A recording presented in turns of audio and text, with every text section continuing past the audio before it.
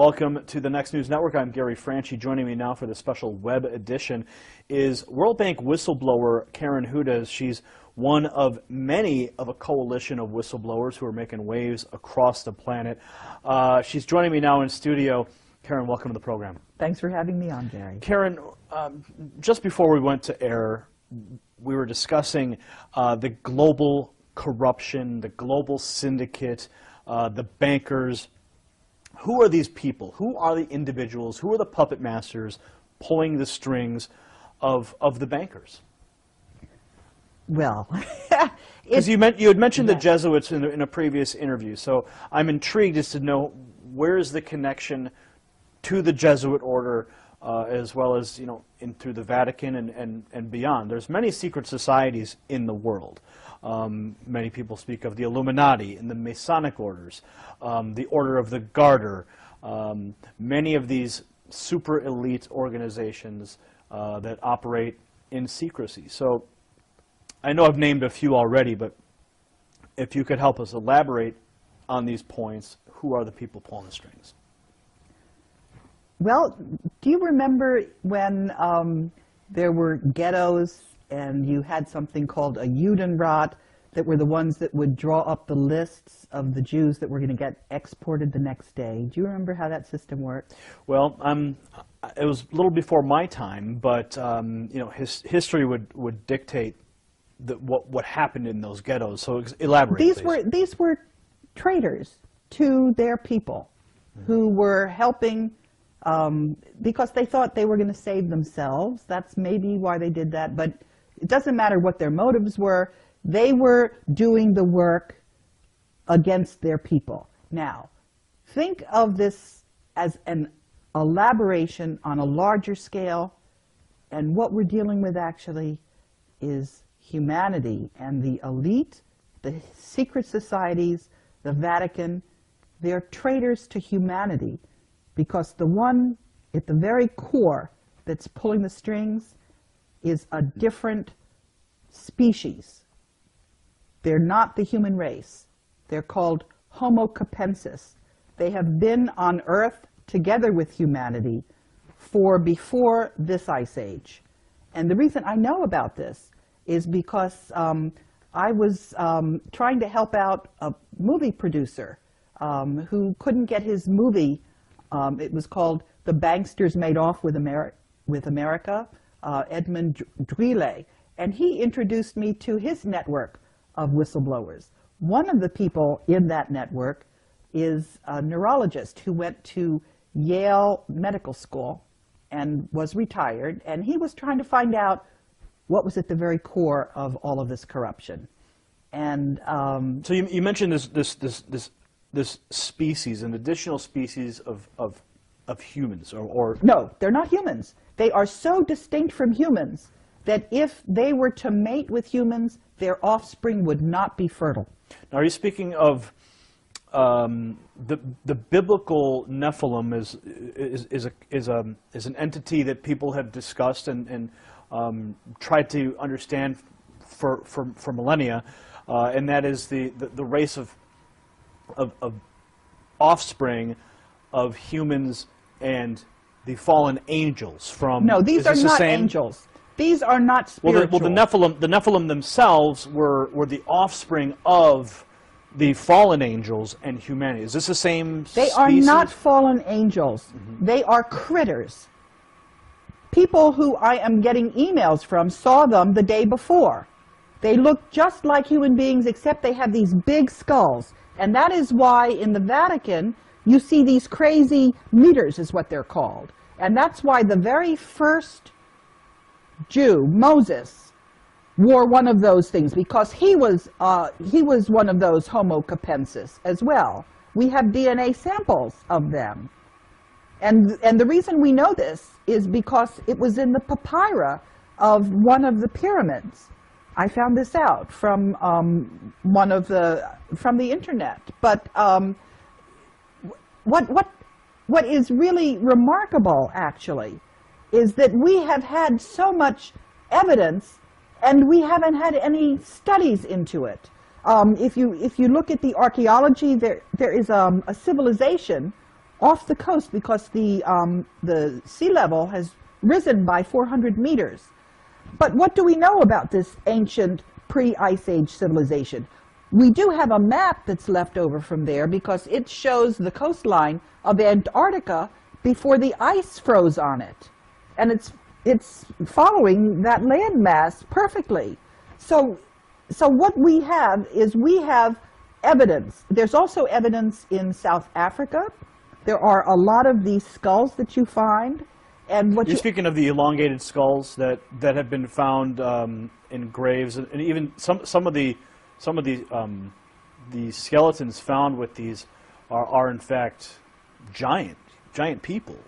That is something different. No, I'm not talking about that. I am talking about a large skull. The And- elongated skull, the, the elongated cranium. Some are in Peru, some are elongated. But in um, other places, they're just round like pumpkins. And the individuals that were seen in Egypt, I've seen drawings of what their skulls looked like.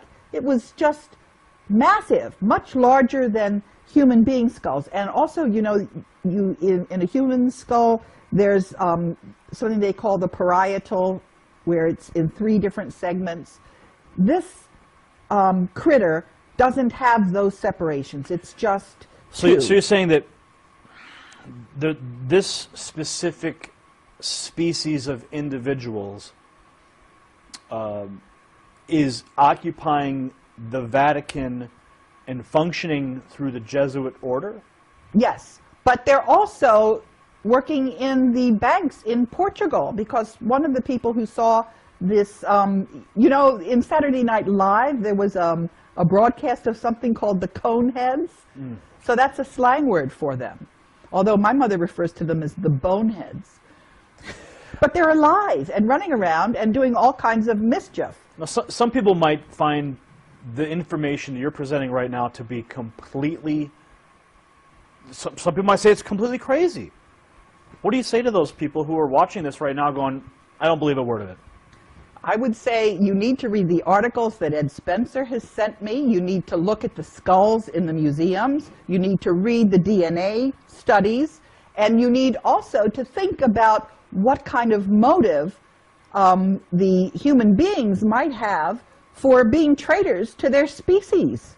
Why would they do this? Why would we have a banking system where all the money ends up going to the Vatican and people run around starving?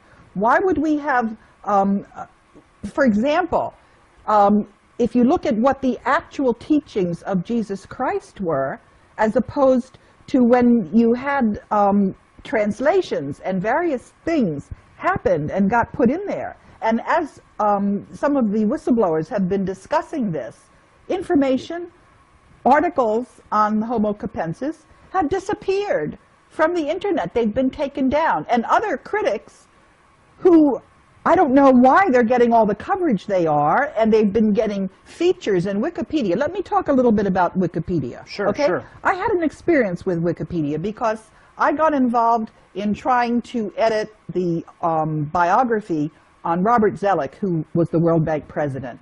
And I was trying to explain to people that the United States had lost the gentleman's agreement, which you could demonstrate. You could see, I couldn't get that into, into Wikipedia.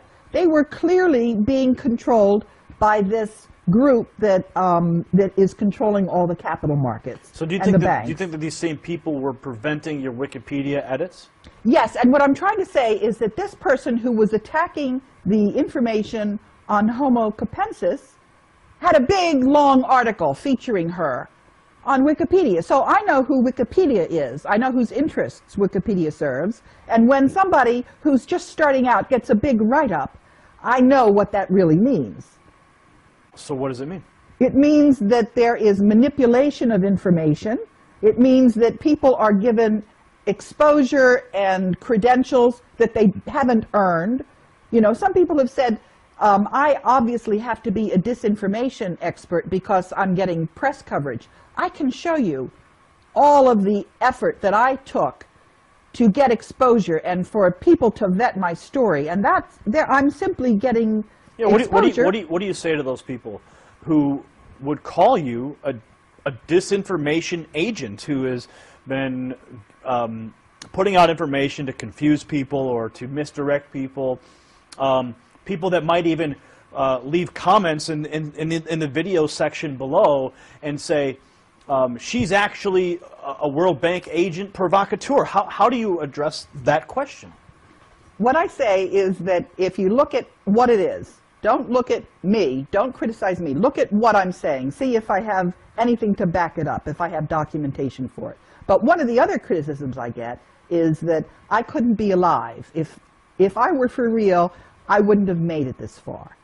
And the answer that I have to that is I say, um, I have always been working in a team of whistleblowers. If something happened to me, it was just going to blow up what I was trying to um, uncover because I was talking about a cover-up of corruption. I didn't have a document, any one document I needed to reveal. I was pointing to a whole system of cover-up. I was pointing to the fact that the media was not telling the story the way it deserved to be told. They had an agenda. They had a hidden, secret agenda. As I've said, the, the whistleblowers are like Toto in The Wizard of Oz, pulling the curtain back. And people are now seeing the wizard, which is this um, corrupt group, and they're also seeing that the mainstream media is projecting onto a screen their propaganda, which is not reality. What you get in the mainstream media has a hidden secret agenda.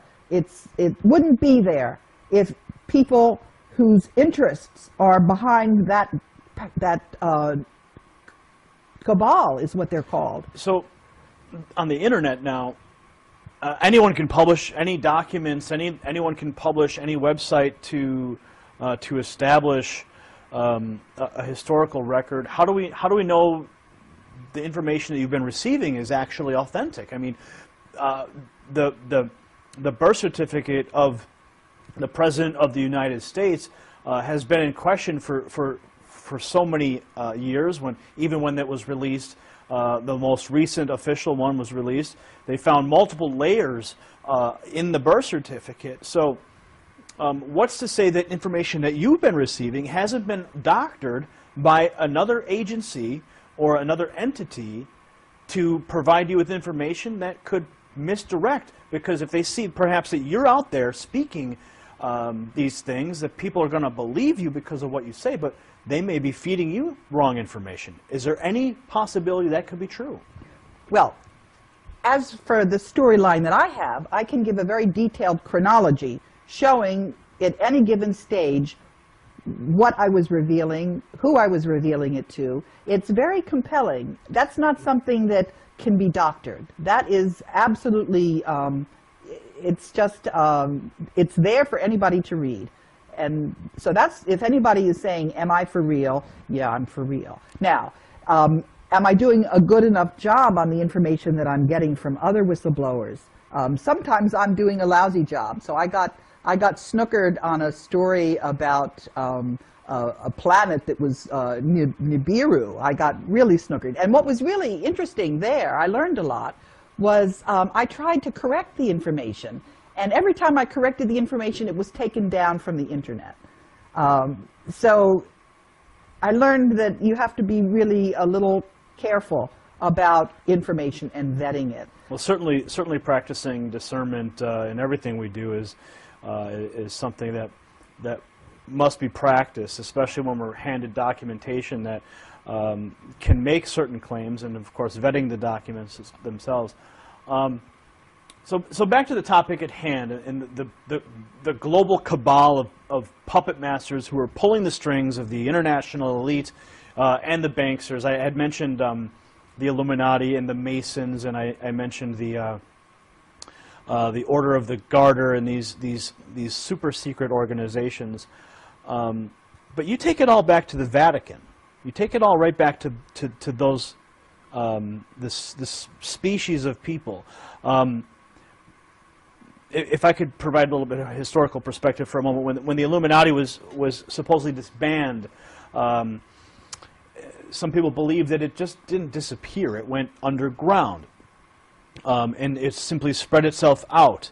Uh, would you say that the same is happening with this species um, of, of you know, I, I would say, you, you say they're not human, but uh, for, for, for lack of better words, I'll say they're um, a species of humans.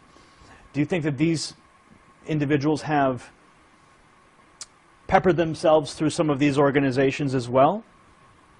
What I know is, Or is it isolated simply to the Vatican?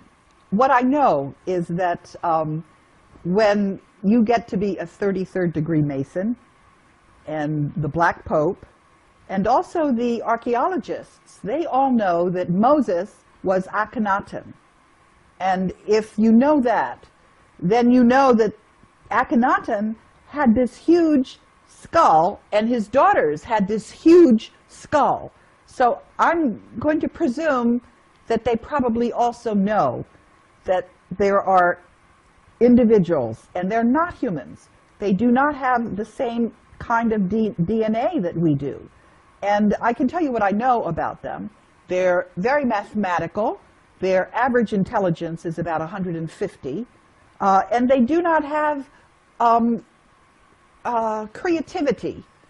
They're not um, emotional. And the other thing is that um, in the process of working with all of these whistleblowers, um, I've learned a lot about the strengths of, of Homo sapiens because um, you know we're not uh, we're not giving each other salaries, we're not giving each other honors, we're not giving each other anything other than additional hard work. Um, but we also know who we're working for. We're working for all of humanity. So I, I have to ask this question because some of the viewers who are watching right now are going, they're talking about another species with an elongated skull. You mentioned the, the, the high intelligence, the lack of creativity. Um, and it's going to be hard for people to grasp that reality. And of course, everyone has to do their own homework to discover these things.